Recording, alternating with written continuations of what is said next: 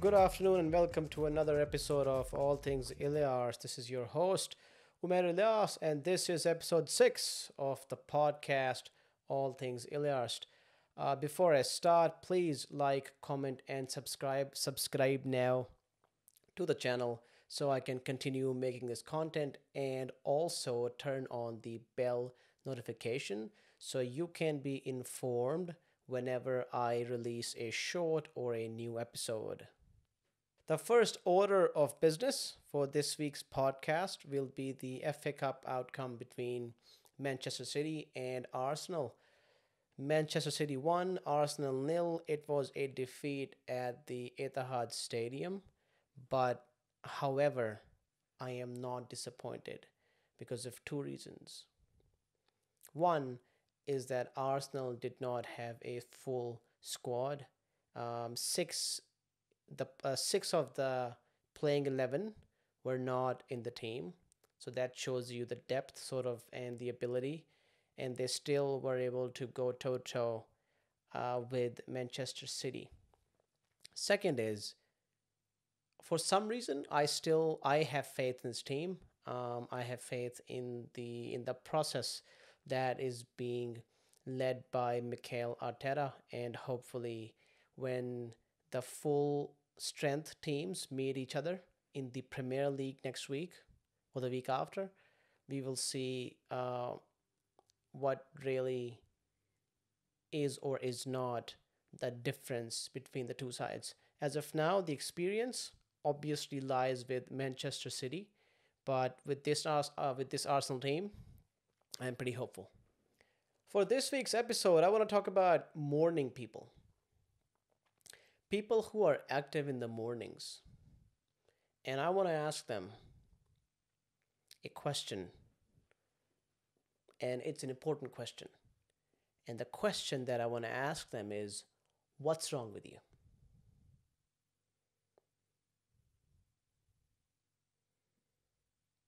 For all my life, ever since I was a baby till this age, I hate mornings.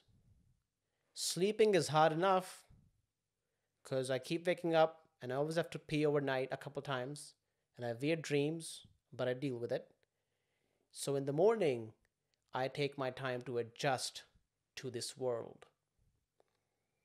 So for me to leave somewhere to be at office by 8, I got to be up at like 6:30. Half an hour is to find the will to live you shower, drink water, drink water, shower, change, look at your phone, look outside for a bit. I just want to be quiet.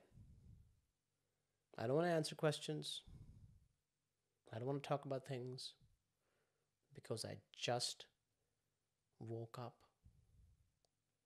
And I was born in the wrong family, obviously. Because my mother, she didn't care. Is it the weekend and you want to sleep in? Wake up and let's do things. Go get groceries from the market. Go buy me some vegetables. You gotta get there early, even though the market's not open, but you gotta be there. Be active in the mornings. Don't take too long. don't take too long at all. You wake up, you shower, you brush your teeth, you have, you have your breakfast, you change into your school uniform, you're just on the go. I, I am not. I need time, dude. I just, again, I just woke up. Let me adjust. So, therefore, people who are like super happy and chatty in the mornings, good morning, how are you? Good day. How's your day going? No English, please. No English. If I speak, I am in big trouble. That should be my response. But I don't say it, so I, I pretend. I, I, I pretend and I go with it to some extent, but then sometimes it's like, yeah, I'm right. I just, I'm still half asleep, so please leave me alone. And just like that, if you think about the morning shows that people do, like the Today Show here in Australia, I can't believe the worst place to be for someone like me. So they have to act all happy and active and excited. I can see their eyes are still a little like puff. You can tell the man's tired or the woman's tired. The person on the couch is tired. But good morning, how are you? Good morning. Our, our guest today, well, ha ha ha. The jokes, and you know, we're gonna talk about the weather, we're gonna talk about food, your daily activities, and and cut. And I would just be like, and we're back in three, two, one. Welcome back to today's show. This is your host, Umer Ilyas. What are you having for for breakfast? Is it a coffee? you are allowed to be happy in your own space. Just don't spill that active happiness into my space because then I'll get angry. And it's not a good trait to have, though. It's not a good trait to have that I do, and I admit that I am at fault for that. Um, I wish I was super, because it would save me time.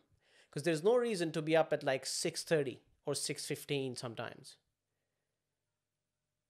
I wish I could just be like, well, I have to be at work at 8, so I'm to be up by 7:15. I'll be leaving home by 7:30. Never in my life unless I slept in or something. I used to do night security, which is not a surprise obviously. I'm a Pakistani man. We all have done it in Australia and so did I. It's a good source of income doing night shifts. It gets tiring and boring. So I used to work at this retail store doing security there overnight as a contractor. And they had some faulty like fire system or something and we had to be there like someone had to be there overnight just in case if a fire broke out so we could sort of be the first person who's there and escalate it and hopefully keep it under control. I'm not sure what the point was because they had all the fire alarm systems, but anyways, we were still there. Well, I do know what the point was, but I'm going to complain about it. So I would start my shift at 9 p.m. and everyone would leave. Obviously, I would be there overnight. I'd, I'd use my phone, think about my life, my life choices. What have I done to be here at this place? Then think about the money because I'm getting paid well. And uh, I'm watching uh, like YouTube videos creepy pastas, freaking myself out with scary stuff, obviously, because can't help myself. And then, you know, the morning would come. People would start coming to the store at around 4 a.m. in the morning. The guys who worked in in the stock management. And and then came in 6 7 a.m. active people. And these are the worst kind of people a part of the job was to greet them at the reception, hand them their phones or their IDs if, if they didn't have any, um, and greet them as they would go into work. So these active people would show up at 6 or 7 a.m. And that's the worst time because you're almost falling apart. Because now the sun's coming out, the night has passed, the sky is turning blue, the light's there and you look outside and your eyes are red shot, your energy is down, you have to pee. You just want to get a nap, but you know you're here for another two hours. 12 hour shift, 9 p.m. to 9 a.m. And these people would come in holding their coffee, obviously. Good morning. How are you? How, how's you, uh, like how's how's your day been? Uh, it's been alright. Yeah? Anything exciting happening? No. Here's your pass. Well, you have a good day. Thanks, you too. Next one comes in. Good morning. How are you? I'm good. How are you? Here's your pass. Thank you. Well, you have an excellent day. Yeah. Thanks. Another one comes in. Good day. How you going? Good, man. Good. Good, mate. Then another one comes in. Good day, mate. And the other one comes in. Hello, mate. How are you? Good, mate. Good. Well, here's my pass, mate. Cheers, mate. See ya. And I'm okay with these kind of guys because the energy is sort of it's nice. It's it's a balance. It's not very high. It's a balanced energy that I can deal with. And I realize how much sleep is important because once I stopped doing that, my health, my mental health, my general overall happiness improved. Um, and I realized how stupid I was to not to sort of put myself through that in all the years in university and even before that in my teens. If I had only hydrated and get enough sleep in my early years, I would have been unstoppable, dude. The amount of success I would have reached only if I drank enough water and slept eight hours a night who knows what I could have accomplished. Going back to the security shifts, what killed me, especially during the winter, was um, working night shifts and then in the morning, because you're inside, the heating is on, it's fine. And then after like 12 hours, you finish your shift, and that cold wind, minus six, minus four, minus eight, sometimes hits you in the face like, and you can see those because they had in that retail store they had their flags outside so you could see them go because winds was just it's it goes as high as like 45 kilometers an hour if not higher. So that's pretty strong. And that's your average winter day in canberra as soon as it, it it's dark it's gonna drop to like minus two minus three you stub your toe sometimes because I hate having heating on because it sort of like dries you up. I hate to fall asleep in it, so my room's always cold. So I use my hot hot water bottle and put it on my feet because when my feet are warm, I sleep like a baby. Put some blankets in. The room's cold. I'm just all like tucked in. And then sometimes, because I'm a prick, I drink a lot of water before I go to bed so my mouth does not get dry, which means I periodically wake up overnight to release it and to urinate. Now, by the time you hop off your bed and you walk to the toilets, the cold has invaded your body. It's all up you, it's all inside of you. You feel it. You just go as you're peeing and it's so cold that it sort of takes away your sleep. Like by the time I'm done peeing, I go back to my bed and I'm fairly active. And I have to force myself back to sleep. And God forbid if, if you check your phone, it'll be minus five outside. And that just, I can do that for a couple months, but once, I don't know exactly when, I reach my breaking point, after that, I just can't do it. And every year in winter, I promise myself that I will leave Canberra the next year before the winter. I've been here six years. Nothing, nothing beats what these people go through in Hudson Bay in Canada in a town called Churchill. Sub zero temperatures all year round. It's so cold that it's just icy snow everywhere. And this documentary has got, I think it's by Our World. A British man goes to this town to sort of help them to create a deterrent because the town is so snowy that it's home to polar bears. Everywhere you see, you look, is snow and now it's Halloween, and they've got armed guards to protect the children from polar bears. And the guy who was doing this documentary, he is British, I think, and he's gone on to, to this town to help them develop a deterrent for these bears. So let's have a look at this.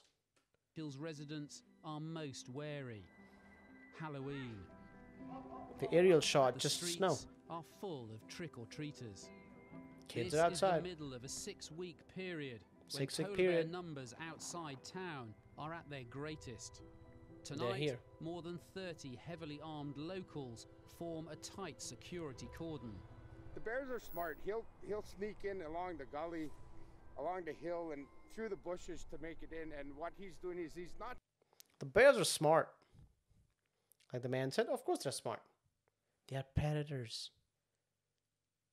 They predate. An interesting fact about Churchill is also that it is a, a spot for polar bear tourism. People come to watch these polar bears. And also, they have a holding facility. They've got a jail for polar bears that they catch that come too close to the to the residential areas. The polar bears that come too close to the residential areas go into a holding facility in Churchill. They've got a jail for these guys. forced to devise a unique and radical method of dealing with bad bears that pose a threat. On the outskirts of town is the world's first and only polar bear jail. Brother. In mid 45, Gregory and just the polar bear is just like, like, bro, what's happening? What's happening here? Bears caught in town are locked up here for at least 30 days in an attempt to keep them out of trouble. They're given no food, oh, wow. They held up for 30 days, and then their punishment is that they don't get food. And that is because, and he'll explain it, and that's because if they feed them, the polar bears will think this is where you get the food from. So they wouldn't want to leave. It's crazy. so they don't associate this place with a meal. When they did try feeding them one year, the following summer, those bears returned and tried Bro, it's like people as well. Like some people who are like in prison for so long and then they get released and the, and then they realize that how hard the outside life is as well. And since they've been in, institutionalized for so long, they find it easier to go back to prison. They feed you, you know, your sleeping time, your your your your meal time, your waking time, like everything has been set for you. You don't have to work. If you work, you don't have to pay taxes. It's all it's all done. And that's deep, dude. And that's why we do this podcast to uncover these sensitive and deep, deep issues rooted in the society. My solution to this problem, if they would involve me in this process, would be relocate. Why are you living in the snow? Why are you living in sub zero temperatures all, all year round? There's so much snow everywhere, dude. You can only be warm for short periods of time. You have to be careful. You can't even stub your toe. If you do, it's painful. You haven't seen the sun in so long. So, relocate. Go towards warmer weather, dude. Imagine being in the sun. How happy you would be. And then the bears can actually reclaim their own land because it's theirs. And we live peacefully. Sorted. That's my solution. Don't live in Churchill. Keeping in mind the people who live in these cold, horrid places, I also think about people who go camping. It's also a big part of the culture in Australia. People love to be outside and camp, have a camper van, or just be out in the bush, you know, bushwalk, hike, sleep outside, poop outside, eat outside, and live in the woods, which I find bizarre. As a boy born in the city, I just cannot comprehend how uncomfortable it would be to do that. Like, how do you, you just, how do you bathe yourself? How do you cook food? You just, if you want to poop, you're just gonna go out in the bush and do it like an animal? And mosquitoes and snakes and spiders, dude. And there's other things outside as well. What if a croc just like decides to, you know, go for a walk? And um, they end up where you are. And then chomp chomp fest. But with that being said, Australians are so brave, dude. Like it's just it's beyond me. Especially the people in Queensland. There's a reason they're anti-vaxxers. That's a joke. But obviously they are so fearless. I saw a guy once hit a croc on the head with a pan, like pow, and the croc just like it backs away and back into the water. Message delivered, dude. Don't come to the croc guy, to the pan guy, croc. So from camping, an incident happened in my life that changed uh, my look at life, obviously, which is that in Canberra, here in Canberra, there's a pool there. It's a natural pool. And there's this nice hike trail around that as well. Me and a friend of mine, we planned to go for a hike one day. The sun was out. It was sort of early-ish in the morning. Not super early, around maybe 8, 9 a.m. We go to the trail and we find out that due to excessive rains, the trail had been closed. It would be unsafe, so keeping in mind the health safety requirements and duty of care for the people of Canberra, they had closed that trail. And my friend, she suggested that we can walk towards the other way and it's not super late in the day, so we'll be fine. And as we're walking, I see a sign towards my left hand side that says nude beach. And I go, cool. And I've got my clothes on. And we are thinking, it's kind of early. It probably wouldn't be packed, so we'll be fine cut to 500 meters in and the amount of penises I saw in one scan was just beyond me. And what made me laugh, but I couldn't laugh, was everyone had like a hat on and nothing else, dude. So I'm trying to look down. Now there's it's a bit sandy as well. There's like rocks there, and it's just it's packed. There's a penis after penis after penis and it's packed and I can't believe it.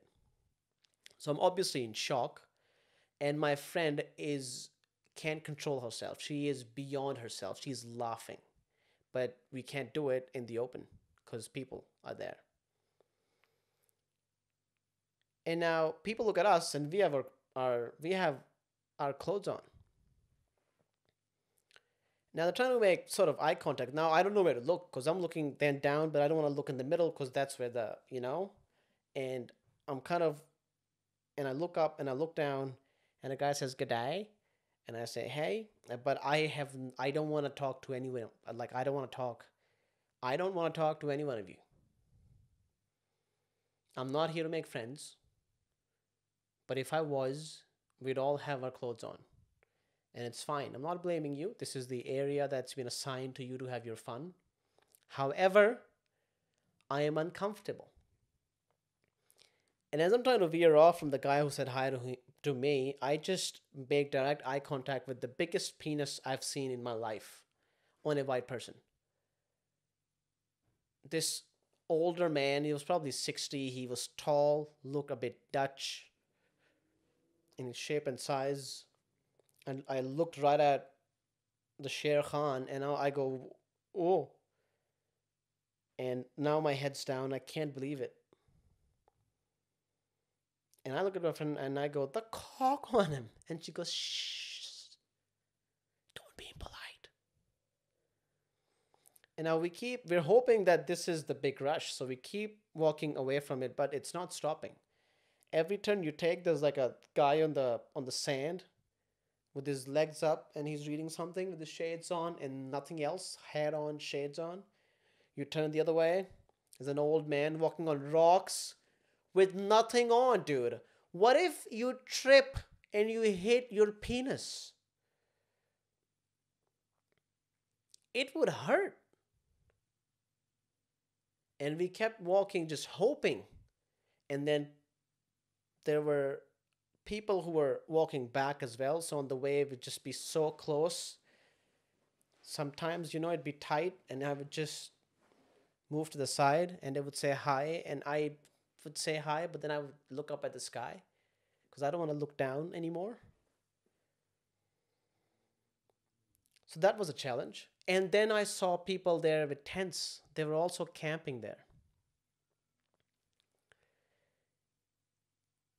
and that made me realize that with my upbringing like because we always washed our ass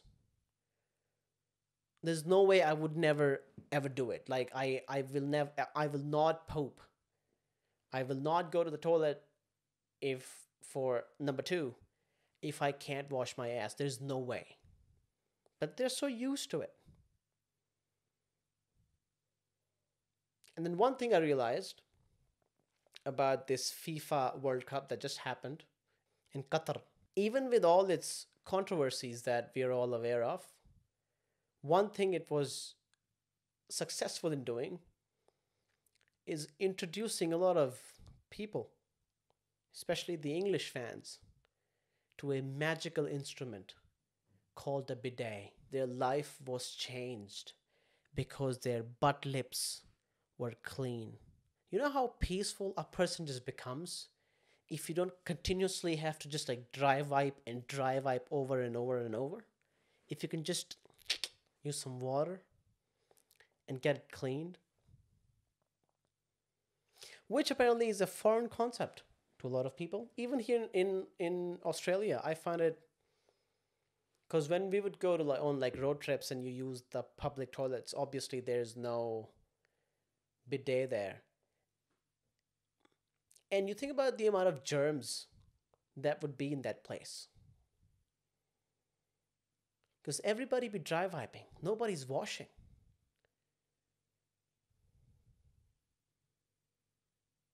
And i've got a friend whose wife found a portable bidet on amazon. It's like a little thing a bottle at the end of it with like a long head and then it can get attached to the bottle itself. So you unhook it it comes out it points outwards and then you fill it up with water and you squeeze it and it sprays water at an angle where your butt is.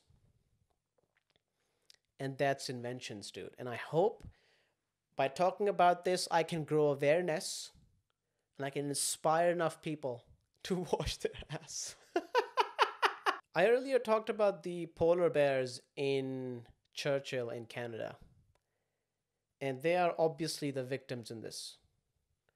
Similarly, in a similar fashion, I went to a university in Malaysia to uh, do my engineering. On our campus, we had a problem of stray dogs. They were everywhere. They would be in the library, they would be uh, in the dorms sometimes, in the cafeteria, around the around the fountain, in the dark at night, you don't see them and they sort of like group together as well. So they can become quite aggressive if they are anxious or scared. Not a lot was always being done for the health and welfare for these dogs, and they multiply. They grow in numbers very fast. I have a few incidents with these of interactions. I have a few interactions with these stray dogs. My first interaction with these dogs was on my probably first within my first week in uni. I was asleep in the library as I as you would be. And I woke up I, I, I was on a couch and I woke up and there was a dog right at my feet. I didn't expect it to be there, so I so I freaked out, and the dog also freaked out. It took off. Cut to a few days later after my first interaction. It was a remote university town, so we go out to get some Pakistani food, and there were a handful of restaurants around, which were in the walking distance. So we're eating at this place, but there's another place that's closed. And I kind of want to just go have a look at it. And everyone tells me, hey man, don't go there. It's dark.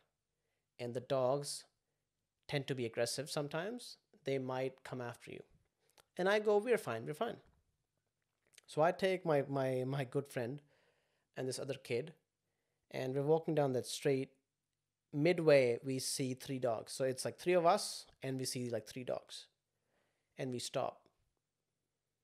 The dogs also stop, we stop. Now we've established eye contact with the dogs. The other guy, the third guy with us, he says, Well, maybe they're friendly because it's wagging its tail. And as soon as he says that, one of the dogs, he sort of hops forward and he's barking.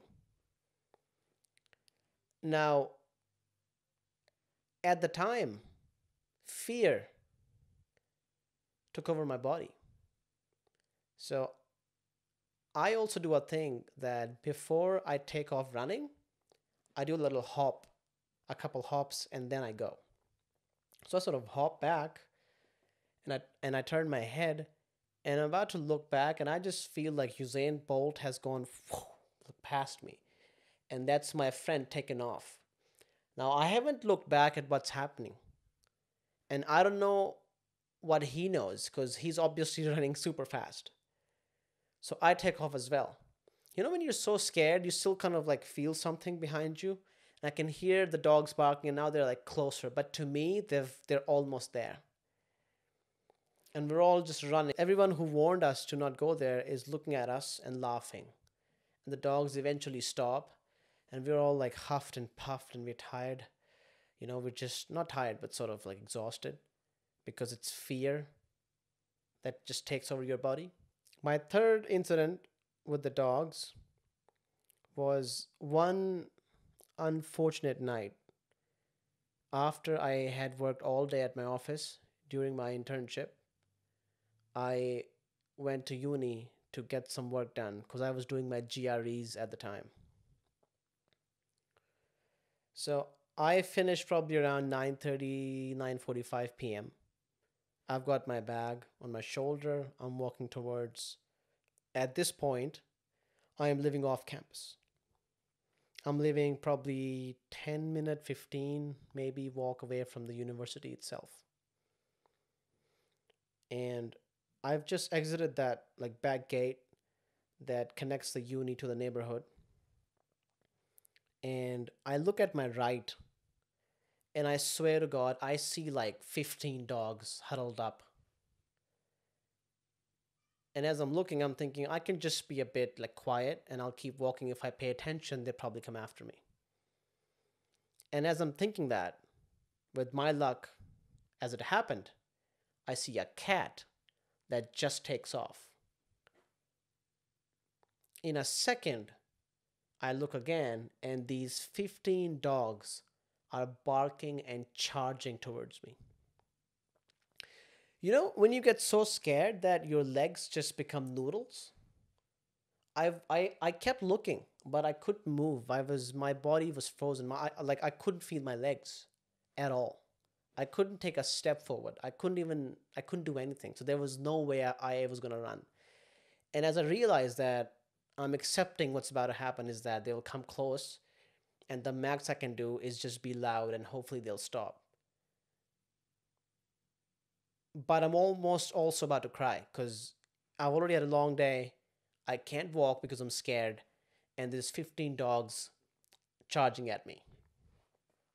For some reason, they lose interest. They immediately stop. They look here and there, and they just they disperse. And I can't believe my luck, but I'm also I also can't feel my legs. So the next that whole walk home was a bit weird out of like fear because I couldn't. It was hard finding my own feet out of just pure fear. I also had another friend in uni who's been in some interesting situations with these dogs. My friend, he's a good-looking guy. Um, he's he well, he's your mysterious, eccentric guy. He would have his headphones on at night. He would blast Nirvana all night. Um, he would walk around like campus alone with his thoughts. So he was very good looking but mysterious individual. So he got the attention of the ladies. He was he was good. He was good with that. He also had an interesting accent. A sample of his accent is be because he, uh, he was brought up in Kuwait. So a sample of his accent is a hey, That's that's kind of Brad Pitt esque. That's that's that's sexy. So this one night, he's walking with his female friend. I'm assuming he's trying to woo this lady. And they're having these sweet, sweet talks. And they're walking and they they're walking around the gymnasium. As they reach the front of the gymnasium, my friend looks over and he can probably hear like a banshee crying. It's like a shrieky cry, and then he realizes it's a dog. Now, when dogs mate, especially young dogs, their genitals are made in a way that they sort of expand beyond the capacity inside the female. When dogs are new to this, it can take them 5 to 45 minutes to calm down and relax and unbind. Up until then, they sort of like bind together, and their anxiety causes them to freak out, hence the banshee screams. So, as this guy is trying to do his sweet, sweet talks to woo this lady, they both look at the two dogs just attached together like a lock and a key, but the key has sort of heated up, so it has expanded, and now it can't come out and she's obviously uncomfortable. And as he's he's telling us this, I'm like, "What'd you do?" And he says, "Well, like anyone would, I held the dog and then I tried to pull him out." He's like, "What do you think I did?" We walked away. And then I asked him what happened, and he said exactly, nothing else happened. The second incident, the same friend he's walking back from the off campus accommodation onto the campus. And how the uni is built and designed is that the back gate of uni, it sort of like walks over like a tiny pond. And then you take up the stairs, and then you see the Faculty of Engineering. You walk through that, you reach towards the fountain, which is surrounded by all these schools You've got the School of Science, the School of Engineering, the School of Arts, the School of Business, yada, yada, yada. There's a fountain in the middle. And then if you keep walking straight, you see a bridge that area to the essay circle where you do all the fun stuff. And then if you keep walking straight, you get to the on campus accommodation. So he's walking from the back gate of the of the university up the stairs. He goes across um, as he's walking by the fountain, and it's dark, it's late at night. Now it's important here to note that the floor is made of this like pointy surface just because it used to rain a lot in Malaysia. That sort of sort of helps you not lose your traction. So he's walking by the fountain and all he hears is an insane amount of barking. And at this point, obviously his fears they take over his body and he starts running. So he crosses the fountain area, he crosses the bridge, and he's so close to the light and people. He's so close. At the edge of the bridge is the SS Circle, and beyond that is the uh, on campus accommodation. As he reaches the edge of the bridge on that pointy floor, his sandals, now he's in these traditional Pakistani sandals. They are called the Peshawari sandals. As he's running towards the edge of the bridge, they sort of get caught. So his feet come out of them both. And he's sort of flying onto that pointy floor. His jeans is ripped open. His elbows, his chest, I think a part of his face that gets grinded onto that tile. And as soon as he hits the floor, the dogs they stop and they just they go away. They're not interested anymore.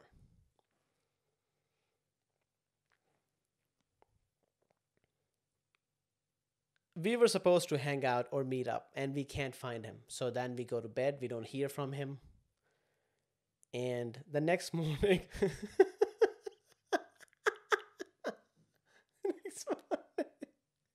he's in a black kurta shalwar. He's all wrapped up.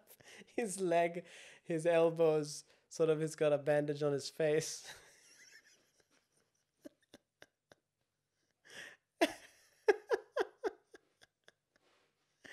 we ask him. We ask him where he was. And then he tells us, dude, he's like, I got I was walking, I was blasting music in my in my headphones. And by the fountain, I heard these barks. And then he's like, I was running for my life. And then I tripped and um my shoes came off and my jeans got ripped. So um I guess the moral of the story here is that there were two victims in the story. The first victim, victims were the dogs, obviously. And the second victim was my dear friend this should be a wrap for this episode. Uh, please like, comment, and subscribe. Subscribe now to the channel so I can keep pumping out more content for you. Thank you for watching the All Things Ilyars podcast, and I shall see you next week.